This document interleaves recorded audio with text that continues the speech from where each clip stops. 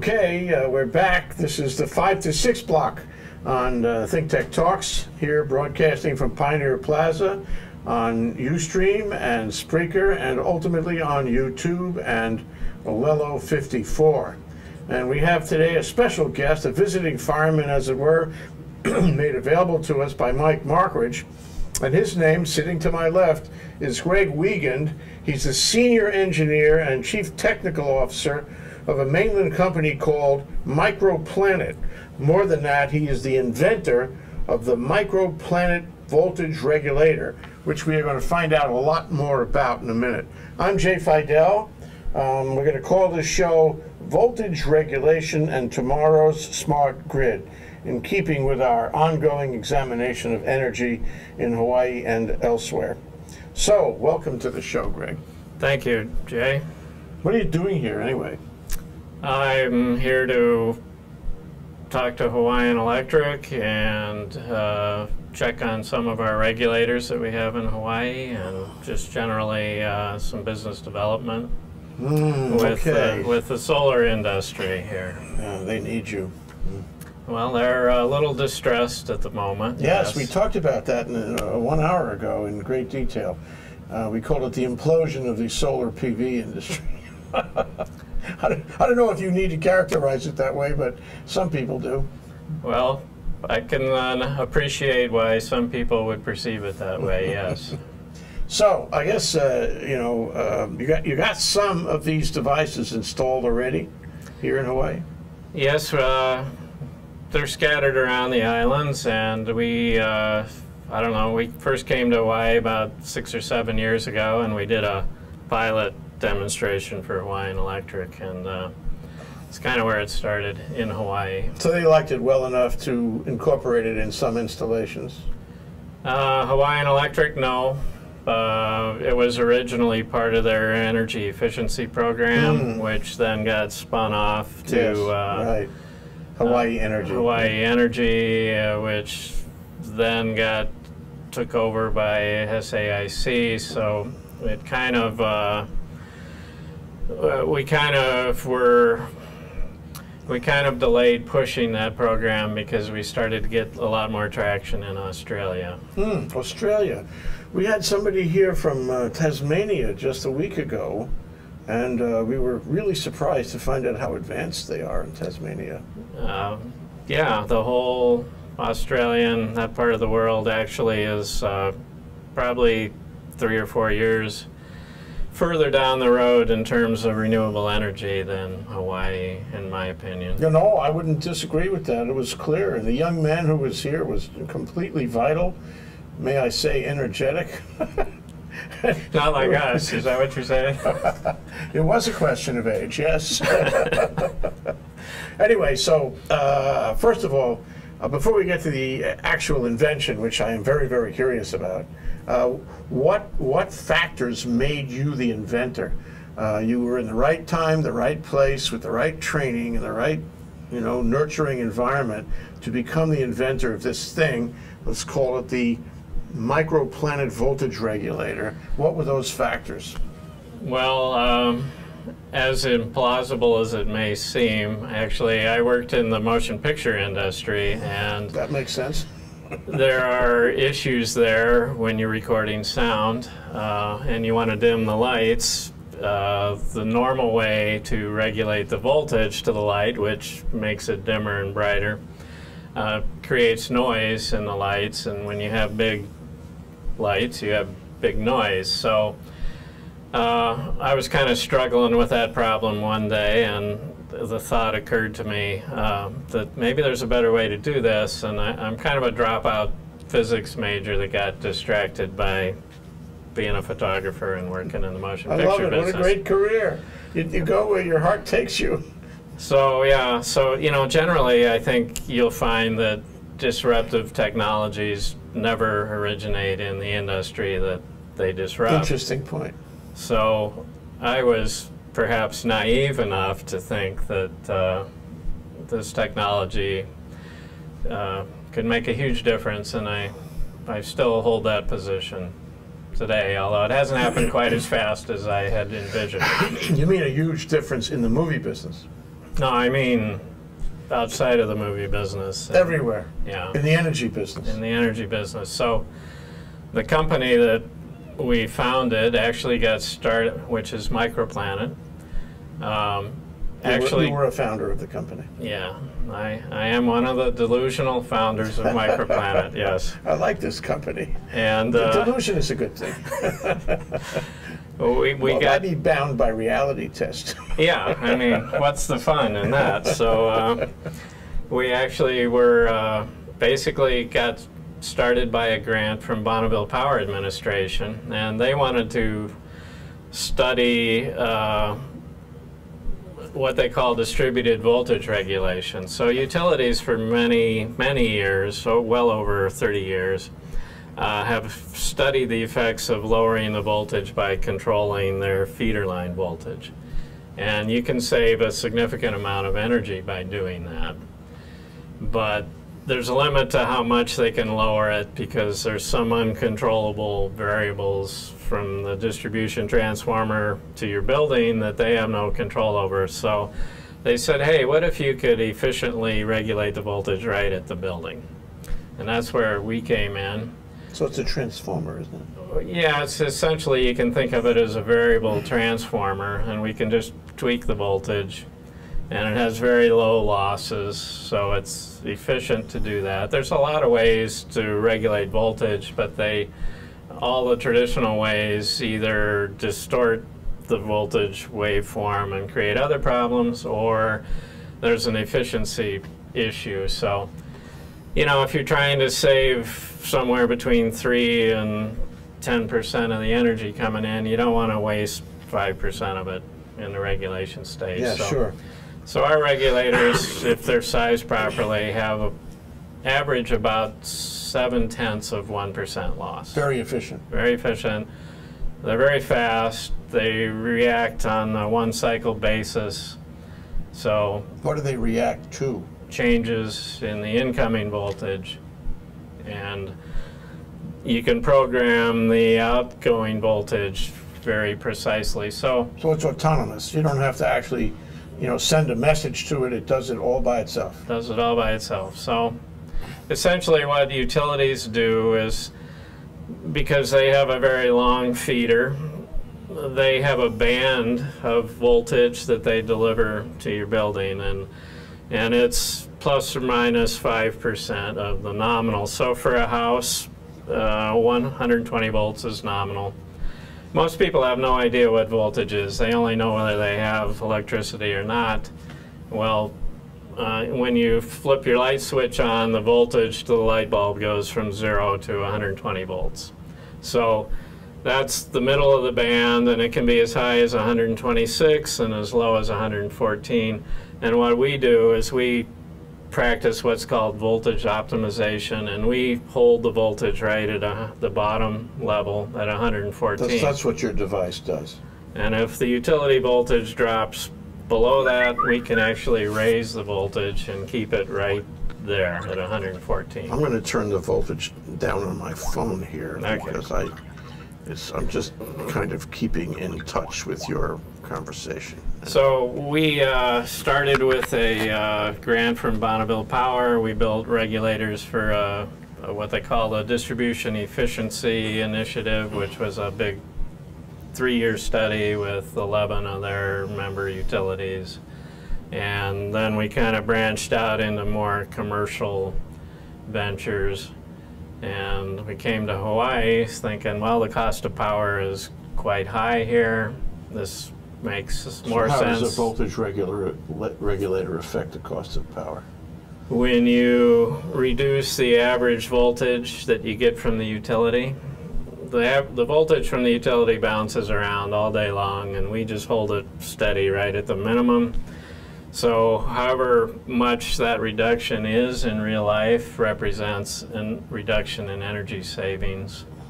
And it's approximately for every 1% you reduce the average voltage, you get approximately 7 tenths of a percent energy savings and demand reduction. So, so the, so the utility is delivering this kind of uh, jumping voltage within limits, and now your device is on the line. Your device delivers stable voltage Yeah. at the nominal rate, whatever that is. Yes. and this somehow is, is more efficient, but this somehow saves energy. Uh, Where, where is the saving reflected? It basically comes from reducing the losses in the electronic appliances and motors. So, in other words, they give off less heat. And because all these devices are giving off less heat, you also have lower air conditioning load. So you use less power. The guy inside, who has the benefit of your device, uses less power on his home appliances. Yep, Does that now does that affect other things like amperage or wattage? it does, but it's it's kind of maybe superfluous to the discussion, but different things react differently, but on the whole, it always saves energy. And we've done pilots in a number of commercial buildings and some residential.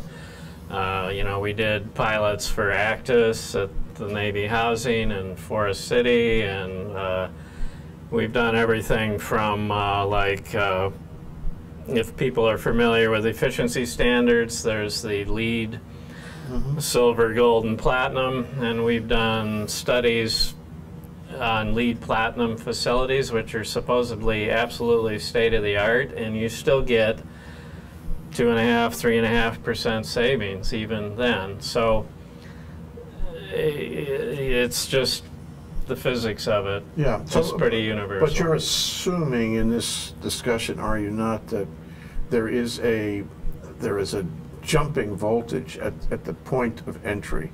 If suppose I give you a hypothetical, suppose the voltage at the point of entry doesn't jump so much. Suppose it, it's straight, but it was 120 volts, whatever. I mean, perfect. Would, would that make your device unnecessary?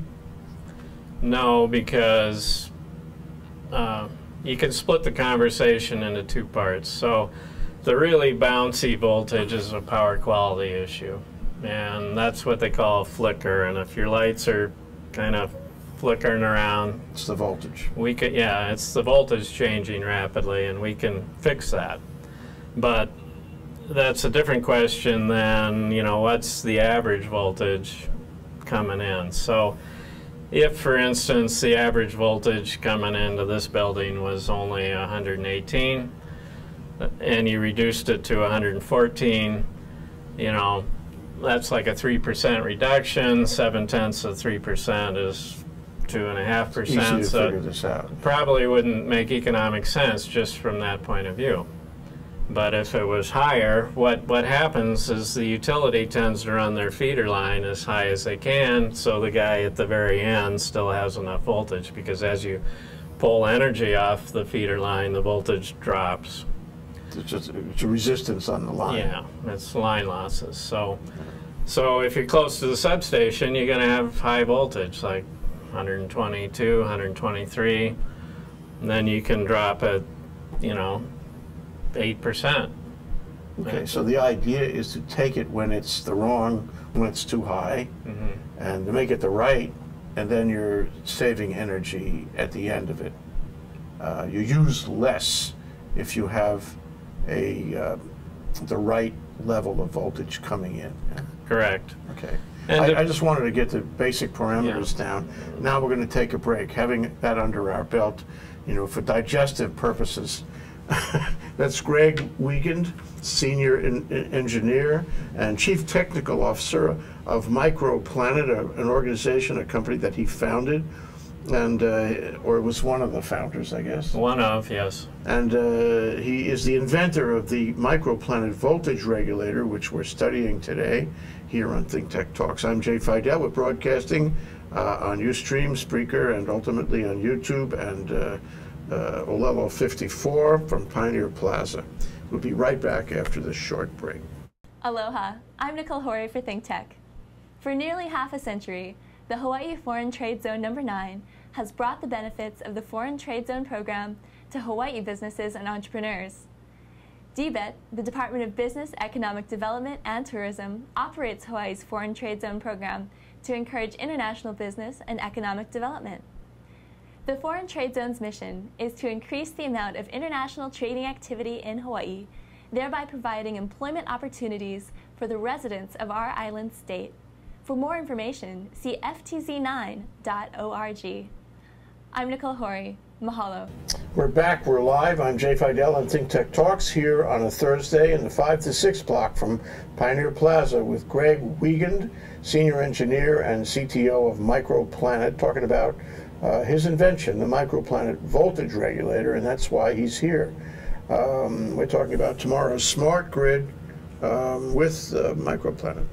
So, uh, to go to a question that you suggested in the break, namely, how does this affect solar? Solar is the word of the day. Everybody's everybody's frantic about solar on both sides of the on all sides of solar.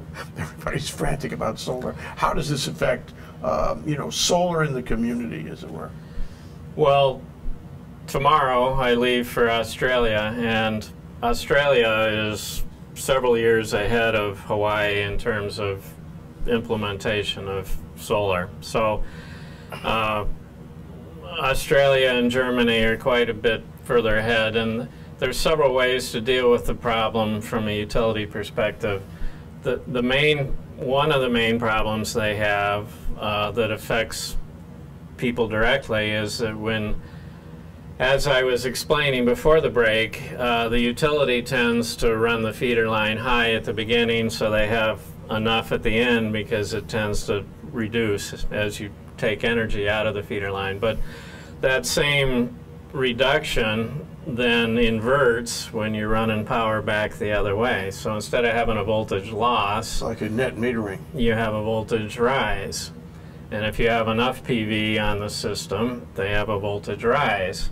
And their system for 100 years was based on the assumption that the voltage would only reduce. And now all of a sudden, it Ah, flips. Very interesting. So it's really kind of turned them upside down because they set the whole system up so they start up here near the high limit uh, and they design everything so by the time they get to the end it's not too low. So, you know, to be fair to the utilities, this is a major blow. And they, Why? Why? Um, well, because for 100 years, the assumption was voltage only goes down, not up. So, but what's the what's the negative about having it go back on, say, net metering and and get higher as it goes back to uh, the central place? Well, the problem is, is it doesn't get, it gets higher out here on the end. So if this is the maximum limit, 126 volts, and you take this curve down and you flip it up, it doesn't take very much energy before the voltage at the end of the feeder is now too high. Too high. Yeah. Okay, so it would be higher than what the what the end, which is closer to the utilities generating equipment, uh, to what the end would tolerate. What happens? What happens if the voltage that comes into that place is too high? What what are the dangers? Well, you know, stuff will start failing prematurely because uh, the losses are proportional to the square of the voltage. Sorry for the math, but um, it just stuff that's running starts getting hotter and hotter, and eventually it'll fail. So it's heat. Voltage creates heat. yeah. And, and, and if you're beyond the voltage the system is built to take, you're going to get heat the system is not ready to handle. Yeah. So, you know, uh, PV inverters are supposed to shut off if the voltage gets that high, which doesn't make. mean, on the roof, yeah.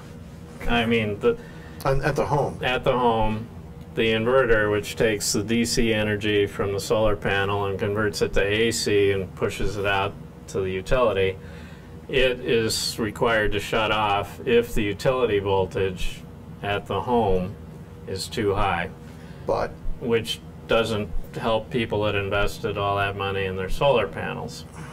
So, does it work? Does it actually shut off? They do, yes. So, Okay, so, so let me give you an example. So if this is supposed to be at well, 110 volts, I don't know, uh, uh, uh, what do you call it? Um, Nominal Not- voltage. not direct current, but alternating, Alternating current, current. out of the inverter, say, uh, and it goes too high because whatever happens on the panel or the inverter, then the inverter shuts off and there's nothing going back to the utility. That right? Correct. Okay. That's correct. And this is the way they all work Yes. It's, Okay. it's the way they're required to work. by the utility because the utility doesn't want it too high. That's well, it's a it's a safety consideration. Okay, yes. fair enough. It's a safety standard. Okay, but doesn't that solve the problem you just described? Well, it does, except unless you paid all that money for the PV system, and now You're not getting, uh, You're not getting the benefit. credits, yeah, on the net Yeah. metering. Okay. So, in Australia, one of the things they realized is that, um, the, for one, the government refused to let the utilities limit the penetration. So they were forced to deal with it, and so they formed a, a coalition and uh, funded research on how to resolve this problem, and our technology bubbled to the surface. And so now in Australia, about 70 75% of the utilities are either using our technology or they're in serious trials to get the feel of it. So using your technology means that there's a black box at the utility end of things, uh, right? Which, In- which regulates the voltage coming back from the homeowner Mm-hmm. on the return, on the net metering return. Right. That's going to hold the voltage low enough so it doesn't do any damage, uh, doesn't get too high or do any heat damage uh, to the utilities equipment there. Yeah. Well, it's it's more a concern of the that it's not too high at the customer. At the customer's end. Connection, Okay, so that's that's where you would put it. So the the Why- Why don't you utility put it at the utility end? Isn't that easier? We do, but the utility is required to keep the voltage within this delivery range. So we put in Australia because they have a slightly different system. They follow the European system where they for one, it's 240 volts instead of 120, but they run what they call a, an LV feeder. So they take the medium voltage, they drop it down to 240, and then they'll run, you know, five, 600 meters of wire, and they'll have 50 or 60 houses or small businesses on that. Yeah. So it's somewhat easier for them to use our regulators at their distribution Yes. transformer Yes. to regulate this whole group of people. And sometimes if there's a lot of PV on this that feeder, that LV network, they'll put one in the middle of the feeder and one at the regulator. So Then you get double control on it. yeah, it basically takes the regulator essentially trades voltage for current and vice versa. Current means amperage. Current means amperage, yes. Okay. So if the voltage is too high, we lower it and we we basically reduce the amount of amperage being consumed. If it's the voltage is too low, we take extra amperage and we convert it to voltage and make the voltage higher. So it basically exchanges one commodity for the other, so to speak. But are you primarily concerned with the voltage returning to the utility or coming from the utility, or both? Well, both.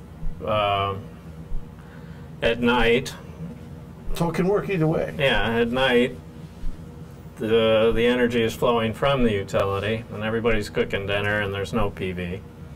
And during the middle of the day, there's a lot of PV, so the energy may well Okay. be flowing back to the utility. That's So, pretty crafty. so it's a bidirectional regulation. It's like a thermos. How does it, you know, I always make the joke about the thermos. How does it know? How does it know? Well, that's a whole I- show. We're gonna, we're gonna, we're gonna. And, I, and I'll need that. charts and graphs for that. So. Uh, here we are with Greg Wiegand, Senior Engineer and Chief Technical Officer of Microplanet, inventor of the Microplanet Voltage Regulator, which is popular in Australia, and I'm very impressed. And we're on a Think Tech Talks, uh, emanating from Pioneer Plaza here. Uh, we're talking about voltage regulation and tomorrow's smart grid. We'll be right back after this break.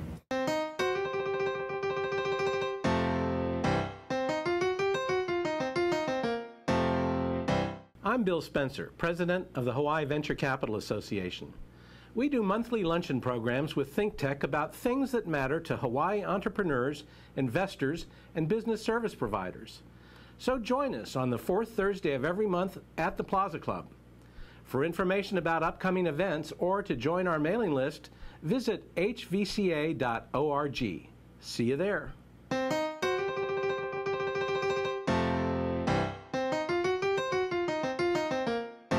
We're back. We're live. I'm Jay Fidell and Think Tech from Pioneer Plaza.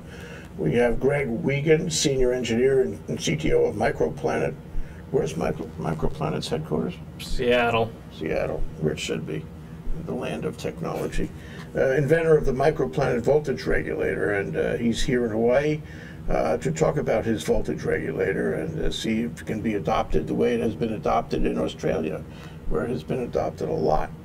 Um, so we were talking about how it would work with uh, with with photovoltaic, and I and I wonder. I mean, it sounds like this is an element of the smart grid. It is part of the smart grid. It's smart. It, and I'm glad to use the word element because it's not the solution, but it's one of the tools that will eventually get people to where they're going. Now, the term smart grid means different things to everybody you talk to. Some people it's very amorphous, actually. yeah, I mean, to some people it's all about communication. To others, it's all about metering and you know knowing where your system is at and managing it. And to others, it's about you know automatic reconfiguration and self healing, and they're all very lofty goals. And you know, basically, we're making it up as we go.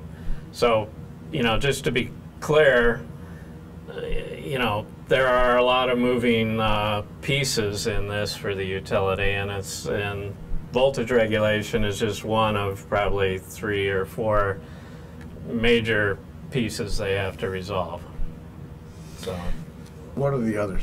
Just just to put it in perspective. Well, system protection, like they're basically they're circuit breakers. A utility has circuit breakers just like your house does. So if there's a fault or something shorts out, they can stop it. Okay. Uh, so system protection is a big deal. Uh, the other big problem is uh, power quality and how steady the PV or the wind energy is, and that's really a problem for them because it frequently is up and down and all over the place. So there are devices that will that you can put on the line to steady that power to smooth the curve. Well, if you were to put our regulators right at your house, that would take care of that problem. Suppose I put it on the other end of the windmill. I mean, on the windmill as the windmill is entering the grid. That's usually medium voltage, and we can't handle that level of power. So the way a utility deals with that is essentially energy storage to buffer the variations, which is another emerging technology. And storage that, or buffer, I mean, is it the same thing? Yeah. So they store energy, yeah. and when the cloud comes over the PV, yeah. suddenly they need more energy, so they push energy onto the system. what is the state of the art on that? Uh, because I mean, you, know, you keep hearing that there really is no efficient way to do that. We don't have that here. We have we have some very limited installations. Xtreme is the uh, manufacturer, but uh, we don't have enough of it to make a difference. It that's not my area of expertise, but I know that there are a lot of different ways of redox flow batteries and you know lithium based systems and you know it's, it's batteries. Typically it's batteries whether there's chemical storage or traditionally. Um, so it's really not my area of expertise, but it is one of the unsolved problems in the smart grid. Do you agree with me? I've had this recurrent dream of a, a capacitor about that big, okay, which would hold a charge until you wanted it. And if you put a lot of these things together, it acts as a battery, and it's cool, and it doesn't burn, and it can make you richer than Bill Gates ever imagined. There are what what are called supercapacitors that are vying for that market, and you know, again, it's not my area of expertise. I know EPRI, which is the Electric Power Research Institute, has been testing some of that stuff, and uh, you know, nobody's got the golden bullet. Um, but here's an interesting tie-in. Um, so protection, uh, energy storage, which buffers the volatile nature of uh, renewable energy.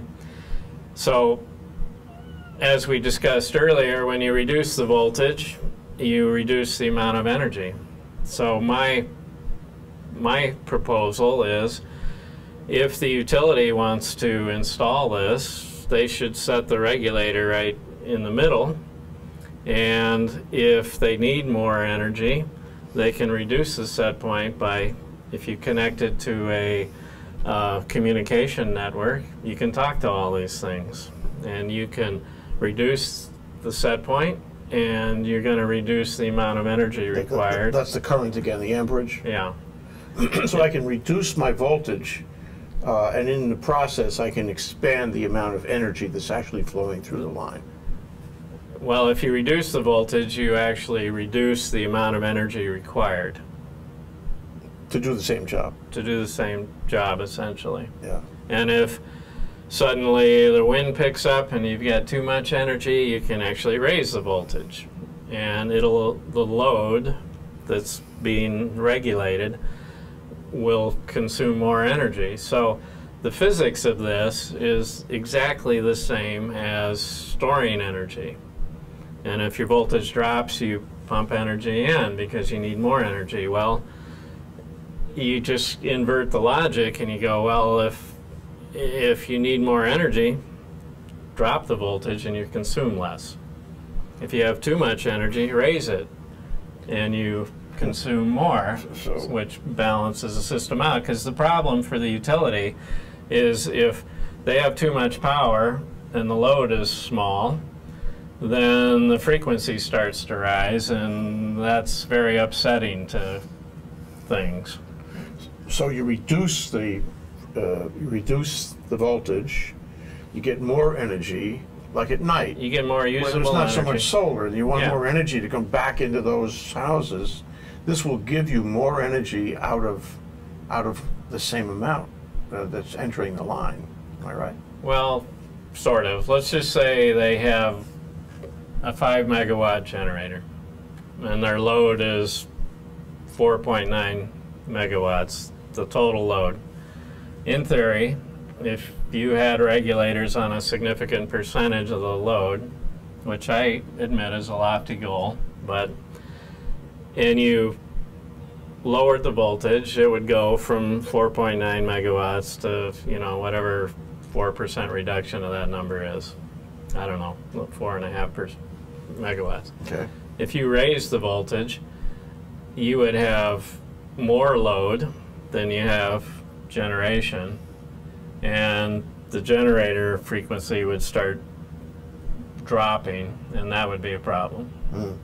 So the utilities challenge, and it's a significant challenge, is they have to balance the load with the, the generation. And to add PV and wind just really complicates it for them because suddenly generation is doing this when, you know, for the last hundred years it's been very flat and very controllable. And you know, they know statistically how much load they're going to have in the peak of the day, so they turn more generators on, and then they turn them off later in the evening, and you know, they had all that stuff worked out, and now the apple cart's tipped over, and they're underneath the apple cart. So this helps them. It's, it's kind of it's not not a battery like a battery would be a battery, but it they can make more or less out of the same, and as a result, it's kind of a mini battery. It can help that. It's a potential method to help buffer the uh, help balance the amount of available energy to the load. Battery without a battery. Yeah, and, and I mean, one of the potential uh, value of this is that it doesn't require a battery, and the battery is never going to run dry. Uh, you know, so you know you can use this any time of day for as long as you need it, and you know, the the uh, re- statutory requirements of the utility actually allow them in emergencies to go below or above this for a short period of time if they need to to stabilize the system. So grid stability is a major issue for them. And this can help them achieve that. And it can be one tool that could help do that. Yeah. So Yeah. you get a cert, but you but you, you, you wouldn't rely on this alone. Is that what No, you're saying? no. This is one piece of a much bigger Engineering question. engineering question. And, you know, countries like Germany and Australia are dealing with the same issues, and they've, you know, Germany has tried some different solutions, and they've kind of realized, okay, that gets us a little further down the road, but maybe not far enough. And Australia kind of came along later and looked at what Germany was doing and said, all right, well, this has limitations, so let's kind of leapfrog. That's the way it works, right? That's the way it works. The power and- of innovation. And you know, they take a little more risk, and okay, if it works out for them, great. So you learn. More people will adopt it, and if, Yeah. if it doesn't So- work out, Are we we're not adopting this in any great numbers here. not yeah. yet. But you know, I'm pretty persistent, so Okay. Are you the only one in the field? Is somebody else doing this? uh, no, not exactly what we're doing. Really? And so you have a patent on it, of course, or multiple patents. Yeah, we have multiple patents, and Well, that's pretty interesting. Is anybody, you know, behind you looking over your shoulder, yeah, trying to do the same thing? you know, that's kind of a business question, and typically what happens is the big players watch Sure, these should. these little experiments way. and and then uh, you know if we succeed and we start taking off they'll probably just buy us of course. I didn't think of that. Of you course. know it's it's the cheapest way for them Yeah, that's yeah. traditionally the way it's done Yeah. Well, I mean, this sounds pretty promising. Um, but but what you know for a utility, um, say say Oahu, okay, because we don't have a statewide grid. Um, what would it cost to, to incorporate this kind of technology? well those are good questions and of course it wouldn't happen overnight it probably wouldn't even happen in 10 years. you roll it out in increments. But you know, you pick the worst feeder you can find, and you start there, and you put it in, and you use it, and you test it, and you measure it, and then you go, okay, let's take the second worst feeder, and then the third worst, and and uh, you know, then you incorporate the regulator into the transformer, which they're beginning to do in Australia, and so it progresses in that slowly, surely kind of fashion. Well, what about the? Uh, you mentioned that it was autonomous, but also you could send messages to it. Uh, so I guess it's built for both of those possibilities. You can do either, yes. Yeah. So uh, what what about the notion of that? I mean, should we do that here? Should we should we put it install it with both possibilities and also message it? Basically, it's the same unit, so It's the same. Know, okay, no change. yeah. And and um, would you would you put it on both ends to in order to get to the this testing phase, or would you just put it at the utility end of the line? The line. Well, that points out a fundamental difference between the European system they use in Australia and the U.S. system. So, um, in the U.S., typically they'll have a distribution transformer, and they may have, speaking in residential terms, they may have six houses on one transformer. So, the best implementation would be to put the regulator up by the transformer and feed all six houses. Yeah, yeah. It's just a matter of efficiency. So- how how big is this device? Well, they're basically in proportion to power. So the smallest ones, which would power like a a house, an American house, is you know like this, about that deep and like this. Then I could go and buy it. Right now, I could go and buy one from you, and put it on my house, on my solar PV house, right? No, actually, we we don't make the residential model anymore. We may reintroduce it.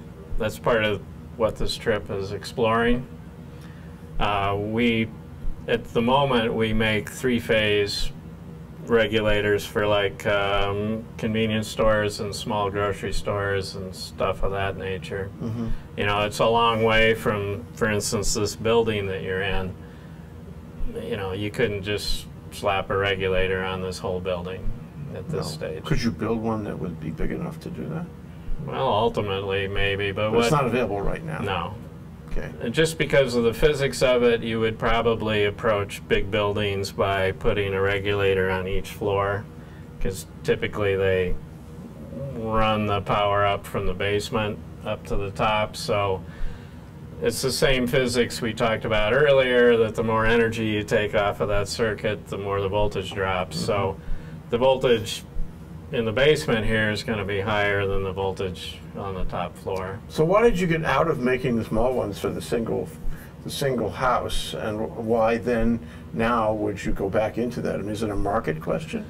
I think the uh, solar issues probably are swinging it more in a, uh, you know, it's, it all boils down to profit. So for us, it was more profitable to go into like convenience stores where they're open Lar- 24 larger. hours a day and they use a lot more power. Yeah, and you can show them better numbers on efficiency that way. Yeah, and houses really are somewhat problematic for reasons of standard issues, but um, houses typically don't use that much electricity. So to sell it to gonna make that you, much difference. yeah, to sell it to you as a homeowner doesn't make all that much sense if you're only looking at energy savings.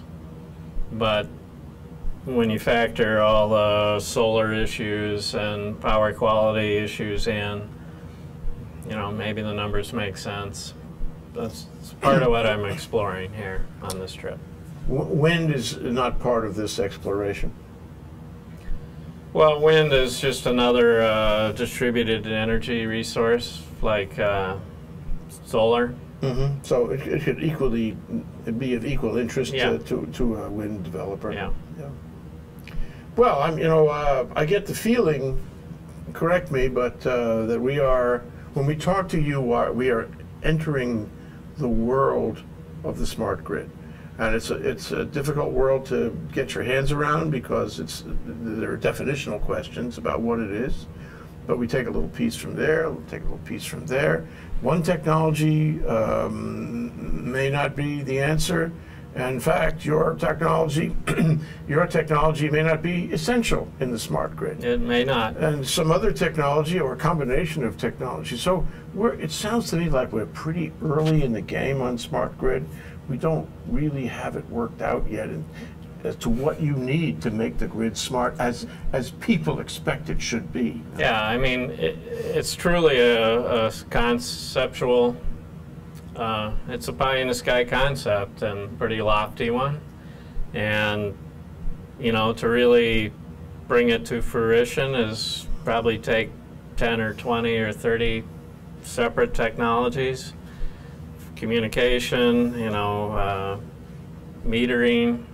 In America, what smart grid basically means is let's put meters in and at least find out what the voltage is. But that's only a part of it. But and, and I think people who believe that that's the full extent of a smart grid are, are not informed.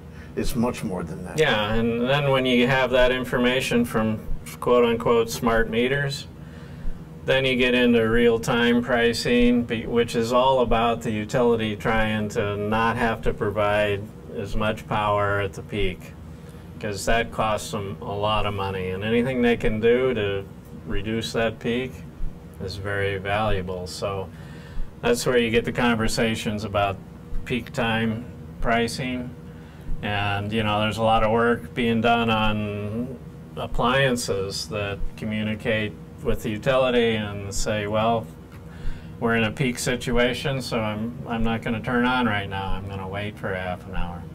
What about the peak time pricing? Is that your next invention? Are you working on that now? That's not anything I really deal with other than what we talked about earlier that you could actually affect the peak by reducing the voltage if you start in the middle. Okay, let me reframe the question, Greg. what is your next invention? Who knows? I'm hoping to retire.